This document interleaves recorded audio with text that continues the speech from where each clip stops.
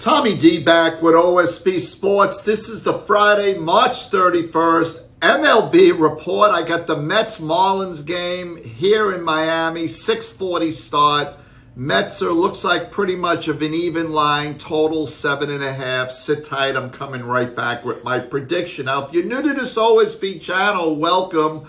We put out multiple videos daily. We cover all sports. Hit that subscribe button up top as well as the bell button You'll be notified every time I come with a new update. You like what you see? Give me one of these.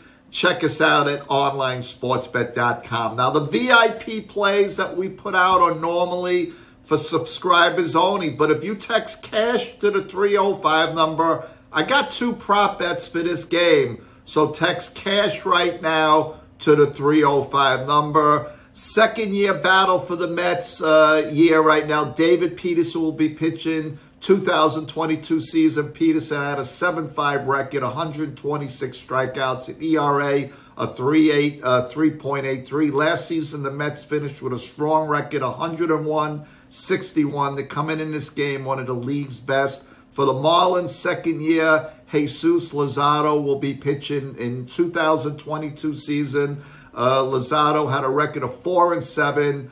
120 strikeouts, an ERA of 3.32. The Marlins finished last with a record of 69-93. They're looking to bounce back. I'm going to take the under here. Should be a battle of second-year pitchers who look to have season growth and expanding on their rookie years. The Mets are one of the best teams in the league, and the Marlins still need to prove themselves uh, with the new roster.